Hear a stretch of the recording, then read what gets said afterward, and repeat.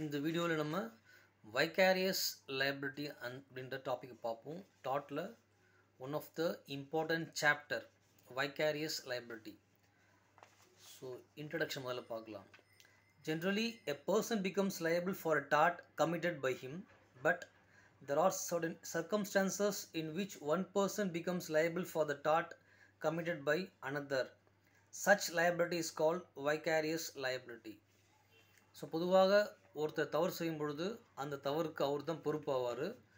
So அவர் தான் வந்து damages பே பண்ணும் பாதிக்கப்பட்ட நபருக்கு சிவில் ப்ரொசீடிங்ஸில் பட் சில விஷ் அதே சிவில் ப்ரொசீடிங்ஸில் சில கேஸ் பார்க்கும் பொழுது அந்த நபருக்கு பதிலாக அவருடைய சுப்பீரியர் அவருடைய ஹையர் அஃபிஷியல் இல்லை அவருக்கு யாருக்கு அந்த அந்த ஒர்க் அவர் கொடுத்தாங்களோ அவங்க பொறுப்பேற்றுப்பாங்க ஸோ அதுதான் இது வந்து இந்த டாபிக் சொல்லுது. வைக்காரியஸ் liability மீன் பண்ணுது.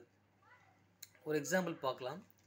If a the driver of a lorry commits an accident for which B the owner is held liable the liability of B is vicarious liability so driver ஒரு லாரியை ஓட்டிகிட்டு போயிட்டுருக்காரு. அந்த லாரி விபத்து ஏற்படுது அவர் மூலியமாக. So இந்த விபத்துக்கு அந்த நஷ்ட ஈடு அல்லது காம்பன்சேஷன் யார் பொறுப்பு அப்படின்னா அந்த டிரைவரா அல்லது அந்த வண்டியோட ஓனரான்னு கேள்வி எழும். ஸோ அதுதான் இது வந்து வைக்கேரியஸ் லைபிலிட்டி ஸோ அந்த லாரியோட ஓனர் பார்த்தீங்கன்னா ஃபினான்ஷியலாக கொஞ்சம் ஸ்ட்ராங்காக இருப்பார். பட் டிரைவர் பார்க்கும்பொழுது he அவர் அவர் வந்து ஒரு எம்ப்ளாயி தான். ஒரு ஒரு கூலி தொழிலாளி தான். ஒரு சாதாரண ஒரு டிரைவர் ஸோ அவரால் அந்த அளவுக்கு இழப்பீடு தர முடியுமான்ற கேள்வி வரும். ஸோ அதை பார்க்கும்பொழுது தான் இந்த மாதிரி இன்சிடென்ட் வரும்பொழுது இதற்கு பொறுப்பு அல்லது காம்பன்சேஷன் பே பண்ணுறதுக்கு யாருக்கு எலிஜிபிள் வரும் அப்படின்னா எய்தர் டிரைவரா அல்லது அந்த வெஹிக்கிளோட ஓனரா அப்படின்றது கேள்வி எழுவோம் அதுதான் இது வைக்காரியஸ் லயபிலிட்டின்னு நம்ம இந்த டாப்பிக்கை மீன் பண்ணி சொல்கிறோம் so meaning and definition of vicarious liability the term vicar means a person who performs the functions of another a substitute a person is liable for the wrong committed another person அதாவது ஒருத்தர் தன்னுடைய வேலையை தான் செய்ய முடியாது. அதே வேலையை தான் செய்யதாக நினச்சி இன்னொரு நபருக்கு அந்த வேலையை ஒப்படைப்பார். அப்படி அந்த நபர் செய்யும் வேலையானது அதில் ஏதாவது பிரச்சனை வந்துன்னா அந்த வேலையில் ஏற்பட்ட பிரச்சனைக்கு யார் பொறுப்பு அப்படின்னு சொல்லும் பொழுது அது வேலையை அந்த நபர் யார் கொடுத்தாரோ அவர் தான் பொறுப்புன்னு சொல்கிறது தான் இந்த வைக்காரியஸ் லயபிலிட்டி எக்ஸாம்பிள் பார்த்தீங்கன்னா parents are liable for the wrongs done by the children so minor சில்ட்ரன்ஸ்லாம் பார்த்தீங்கன்னா அவங்க ஏதாவது இஷ்யூஸில் ஏதாவது பாதிப்பு ஏற்பட்டது இல்லை அவங்க மூலிமா ஏதாவது இஷ்யூஸ் வந்தால் அது யார் பொறுப்புனா பேரண்ட்ஸ் தான் ரெஸ்பான்சிபிள் தே ஆர் லயபிள் எக்ஸாக்டாக இந்த வைக்காரியஸ் லைபிலிட்டி எப்படி கொஷின்ஸ் கேட்பாங்க அப்படின்னா மாஸ்டர் அண்ட் சர்வெண்ட் ரிலேஷன்ஷிப் பற்றி கேட்பாங்க. ஸோ மாஸ்டர் அண்ட் சர்வெண்ட் உள்ள அந்த உறவு பற்றி சொல்கிறது தான் இந்த vicarious liability servant is liable because he has done wrongful act and master is liable because of master servant relationship. For example ஒரு ஹோட்டலுக்கு போகிறோம் அந்த ஹோட்டலில் நம்ம ஒரு ஒரு அஞ்சு பேர் ஹோட்டலுக்கு போகிறாங்க அங்கே சாப்பாடு சாப்பிட்றாங்க.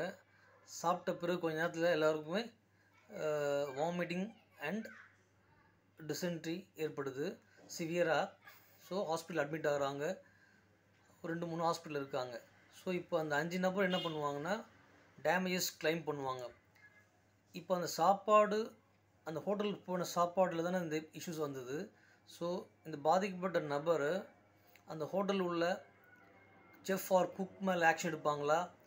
அல்லது அந்த சாப்பாடை அவருக்கு பரிமாறின வெயிட்டர் மேலே ஆக்ஷன் எடுப்பாங்களா? அல்லது அந்த ஹோட்டல் நிர்வாகத்தினுடைய உரிமையாளர் இந்த ஓனர் மேலே ஆக்ஷன் எடுப்பாங்களா? இது சொல்கிறது தான் மாஸ்டர் சர்வன் ரிலேஷன்ஷிப் ஸோ இதுதான் வைக்காரியஸ் லயபிலிட்டி ஸோ ஒரு செஃப் அல்லது குக் இருப்பாங்க அல்லது வெயிட்டர் இருப்பார். ஸோ இவங்க எல்லாருமே employee of that hotel so employer யாருன்னா ஹோட்டலோட ஓனர் ஸோ இது கிளைம் டேமேஜஸ் கிளைம் பண்ணணும் அப்படின்னா இல்லை டேமேஜஸ் தரக்கூடிய இடத்துல யார் இருக்காங்கன்னா அந்த ஹோட்டலுடைய முதலாளி. ஸோ இந்த ஹோட்டல் முதலாளி தான் மாஸ்டர் ட்ரீட் பண்ணுவாங்க. இந்த எம்ப்ளாயீஸ் வருவாங்க இல்லையா? எக்ஸாம்பிள் சொன்னது cook or chef waiter cleaners இவங்கெல்லாம் பார்த்தீங்கன்னா சர்வன்ஸில் வருவாங்க. ஸோ சர்வெண்ட்டால் அந்தளவுக்கு ஃபினான்ஷியலாக இரு ஃபினான்ஷியலாக வீக்காக இருப்பாங்க. ஸ்ட்ராங்காக இருக்க மாட்டாங்க. ஸோ அதனால் அவங்களால டேமேஜ் கிளைம் பண்ண முடியாது. பே பண்ண முடியாது. அஃப்கோர்ஸ் ஹோட்டல் ஓனர் பார்த்திங்கன்னா கொஞ்சம் ஃபினான்ஷியலாக ஸ்ட்ராங்காக இருப்பதனால பாதிக்கப்பட்ட நபர் நினச்சாங்கன்னா ஹோட்டல் ஓனர் மேலே இது விஷயமா கேஸ் ஃபைல் பண்ணி டேமேஜஸ் கிளைம் பண்ணலாம். பட் அவங்களுக்கு ஒரு ஆப்ஷன்ஸ் இருக்குது ரெஸ்பாண்டன்ட் அதாவது டிஃபெண்டன்ஸ்க்கு பாதிக்கப்பட்ட நபருக்கு ஆப்ஷன்ஸ் என்னென்னா either they can file or sue against hotel owner or as a employees so அவங்களுக்கே தெரியும். நம்ம வந்து அந்த எம்ப்ளாயீஸ் மேலே கேஸ் ஃபைல் பண்ணால் அந்த நம்ம கேம் காம்பன்சேஷன்ஸ் க்ளைம் பண்ண முடியாது. அதனால் ஹோட்டல் முதலாளி மேலே தான் நார்மலாக டேமேஜஸ் கிளைம் பண்ண கேஸ் ஃபைல் பண்ணுவாங்க. ஸோ இதுதான் மாஸ்டர் அண்ட் சர்வெண்ட்டுக்குள்ள ரிலேஷன்ஷிப் இதுதான் வைகாரியஸ் லயபிலிட்டி மீன் பண்ணுது. So both are liable they are treated as joint dot fees so ரெண்டுமே தவறு செஞ்சவங்க தான். ஸோ இந்த ஹோட்டல் இஷ்யூ பார்க்கும்பொழுது சாப்பாடு குக் பண்ணது சர்வ் பண்ணுவது தென் ஹோட்டல் முதலாளி மூவர் எல்லாருமே சேர்ந்து தான் இது தவறுக்கு பொறுப்பு. The plaintiff has choice to sue either servant or master or both நம்ம ஏற்கனவே சொன்னது மாதிரி த டிஃபெண்டன்ட் பாதிக்கப்பட்ட நபர் வந்து சாரி பிளைன்டிஃப் பாதிக்கப்பட்ட நபர் நினச்சா மாஸ்டர் மேலேயோ அல்லது சர்வன் மேலேயோ அல்லது ரெண்டு பேர் மேலேயும் கேஸ் ஃபைல் பண்ணலாம். ஸோ இந்த வைக்காரியஸ் லயபிலிட்டியோட பிரின்சிபிள்ஸ் பார்ப்போம். What are the principles of vicarious liability மெயினாக ரெண்டு பிரின்சிபிள் இருக்குது the first one qui facit per alium facit per se so இது ஒரு legal maxim qui facit per alium facit per se it means he who does an act through another is deemed to be done by himself it means he who does an act through another is deemed to be done by himself யார் ஒருவர் தன்னுடைய வேலையை இன்னொருத்தர் மூலியமாக செய்கிறாரோ அந்த வேலையானது தான் செய்ததாக தான் செய்வதாகத்தான் கருதப்படும் example an act of an agent is an act of a principal when a person authorises another to perform an act and dot is committed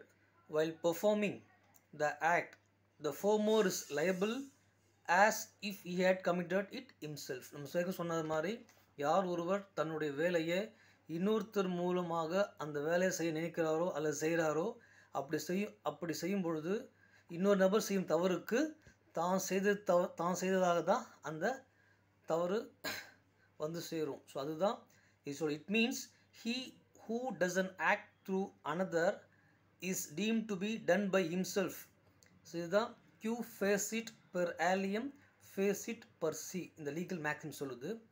second principal பார்ப்போம். ரெஸ்பாண்டன்ட் சுப்பீரியர் நம்ம ஏற்கனவே ஒரு ஹோட்டல் கேஸ் பார்த்தோம் இல்லைங்களா? Example அதுதான். So respondent இங்கே superior சொல்கிறேன்னா அந்த ஹோட்டல் முதல்ல சொல்லலாம். சுப்பீரியர்ஸ் நத்திங் பட் ஸ்ட்ராங்காக இருப்பாங்க. இன் டேர்ம்ஸ் ஆஃப் ஃபினான்ஸ்லேயோ அல்லது வேறு வேலையிலையோ அவங்க கொஞ்சம் ஸ்ட்ராங்காக இருப்பாங்க. எம்ப்ளாய் பொறுத்த வரைக்கும் கொஞ்சம் வீக்காக தான் இருப்பாங்க. It me respondeat superior second principle it means let the superior be liable respondeat superior means let the superior pay compensation அதாவது நம்ம சைக்கிள் பார்த்த மாதிரி ரெஸ்பாண்டண்ட்டான அந்த ஹோட்டல் முதலாளி தான் அதனோட டேமேஜஸை பே பண்ண சொல்லுவாங்க அப்படின்றது தான் சொல்கிறது if the liability is imposed on a superior or stronger man ignoring the weaker man the injured party would get appropriate remedy. So பாதிக்கப்பட்ட அந்த பிளைன்டிஃப் வந்து சரியாக அந்த ஹோட்டல் முதலாளி மேலே கேஸ் ஃபைல் பண்ணார்னா அதுக்கு உண்டான காம்பன்சேஷனை ஈஸியாக கிளைம் பண்ணலாம். ஆர்எல்ஸ் தவறுதலாக அல்லது மாறாக அந்த எம்ப்ளாயி மேலே கேஸ் ஃபைல் பண்ணால் அதாவது chef or cook or waiter மேலே கேஸ் ஃபைல் பண்ணால் இழப்பீடு பெறுவதற்கு கொஞ்சம் கஷ்டமாக இருக்கும் தான் இந்த வரிகள் சொல்லுது.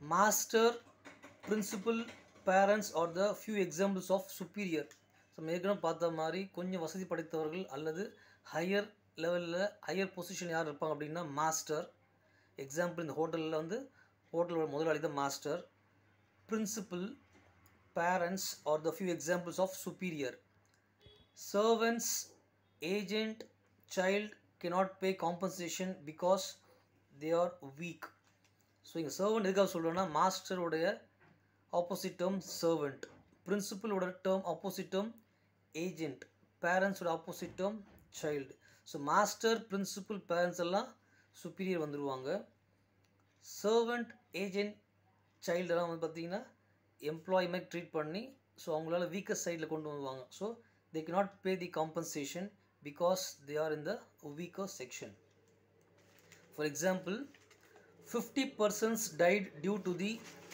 negligence corporation bus driver. The driver cannot pay compensation of 50 lakhs, but the corporation which is superior can pay. The master and principal are in better position than the servant and agent to pay compensation. Hence the superior is responsible for the loss so இந்த விபத்து வழக்கில் பார்க்கும் பொழுது டிரைவரால் அந்த fifty lakhs பே பண்ண முடியாது. அந்த அளவுக்கு வசதி இருக்காது. வேறஸ் அந்த கார்ப்பரேஷன் அந்த பஸ் டிரான்ஸ்போர்ட் கார்ப்பரேஷனோட ஓனர் அதாவது சுப்பீரியர் அவரால் இந்த அமௌண்ட்டை இழப்பீடாக தர வாய்ப்பு இருக்குது தர முடியும். Because are in the stronger section the master and principal are in better position than the servant and agent to pay compensation hence the superior is responsible for the loss அதனால் சுப்பீரியர் தான் அந்த நஷ்டீடுக்கு பொறுப்பேற்றுன்னு சொல்ல சொல்கிறது தான் இது. Vicarious liability இது ஒரு important questions between the master and servant relationship இந்த வைகாரியஸ் லயபிலிட்டி ஸோ எசென்ஷியல்ஸ் பார்க்கலாம். Essentials of vicarious liability the essentials of vicarious liability are the first point there must be a certain type of relation between the parties. There must be a certain type of relationship between the parties. நம்ம ஏற்கனவே பார்த்த மாதிரி master servant அல்லது principal agent அல்லது parent child so இதுதான் வந்து relationship between the two parties the wrongful act must be committed by another person second point the wrongful act must be committed by the another person அதாவது அந்த முதலாளி அந்த தவறை செய்யக்கூடாது. ஆனால் அவர் யாருக்கு அந்த ஒர்க் கொடுக்குறாரோ அந்த ஒர்க்கை செய்தவர் ஒர்க்கு செய்தவர் தான் தவறு பண்ணியிருக்கணும். அதன் மூலிமா இந்த முதலாளி பொறுப்பேற்கணும்.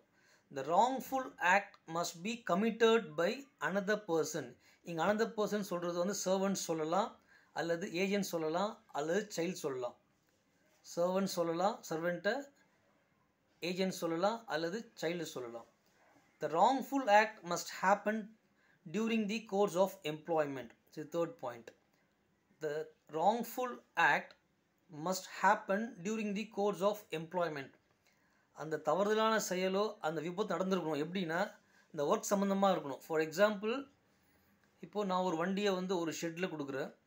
காரை சர்வீஸ் பண்ணுறதுக்கு சர்வீஸ் பண்ணிவிட்டு அந்த ஒர்க் ஷாப்பில் ஒரு எம்ப்ளாய் என்ன பண்ணுறாரு ட்ரையல் பார்க்குறதுக்காக வெஹிக்கிள் கொண்டு போகிறாரு வெஹிக்கிள் கொண்டு போகுது அந்த காரை ஒரு இடத்துல விபத்து ஏற்படுது விபத்துக்குள்ளாக்குறாரு. ஸோ விபத்துக்குள்ளாக்கும் பொழுது இந்த விபத்துக்கு யார் பொறுப்பு? எய்தர் அந்த ஒர்க் பண்ண எம்ப்ளாயா அல்லது ஒர்க் ஷாப்போட ஓனரா ஸோ சொல்கிறது தான் இந்த wrongful act must happen during the course of employment இது பார்த்திங்கன்னா அவர் வந்து அந்த எம்ப்ளாய் வந்து ட்ரையல் கொண்டு போயிருப்பார். கொண்டு போயிருக்கும்போது விபத்து ஏற்படுது. ஏன்னா அந்த ஒர்க் ஷாப்பில் கொடுத்த வெஹிக்கிள் சரி பண்ணி ட்ரையல் பார்க்குறாங்க. அதுக்காக கொண்டு போயிருப்பார். ஆர்எல்ஸ் அந்த ஒர்க் ஷாப்பில் வெஹிக்கிளில் நைட் வீட்டுக்காக கொண்டு போயிருந்தாருன்னா அந்த எம்ப்ளாயி ஸோ விபத்துக்கு அவர் தான் பொறுப்பு. ஆனால் ஒர்க் ஷாப்போட ஓனரோ அல்லது இன்சார்ஜோ பொறுப்பேற்றுக்க மாட்டாங்க. ஸோ மாஸ்டர் ஏன்னா அந்த வெஹிக்கிளில் சர்வீஸ் பண்ணுற கொடுத்த வெஹிக்கிளை அவர் அங்கே ஷெட்டில் வைக்காமல் தான் வீட்டுக்கு போகிறதுக்காக ஈவினிங் வீட்டுக்கு போகிறதுக்காக வண்டி கொண்டு போயிருக்காரு. அப்படி போகும்பொழுது விபத்து ஏற்படுது. அப்படின்னா it is not in the course of employment so இதுதான் முக்கியமான வார்த்தை. தேர்ட் பாயிண்டில் the wrongful act must happen during the course of employment so ஒரு வேலை சம்மந்தமாக அந்த விபத்தோ அல்லது பிரச்சனை ஏற்பட்டால் தான் அதோட மாஸ்டரோ பிரின்சிபலோ அல்லது பேரண்ட்ஸோ சுப்பீரியர்ஸ் பொறுப்பாவாங்க. RS out of the course of எம்ப்ளாய்மெண்ட்டில் ஏதாவது விபத்து நடந்துச்சுன்னா அதற்கு இந்த மாஸ்டரோ பிரின்சிபலோ பேரண்ட்ஸோ பொறுப்பாக மாட்டாங்க அப்படின்னு சொல்கிறது தான் இந்த third point so these are the three essential of vicarious liability நம்ம அடுத்த வீடியோவில் நெக்ஸ்ட் ப்ரீஃபாக பார்க்கலாம்.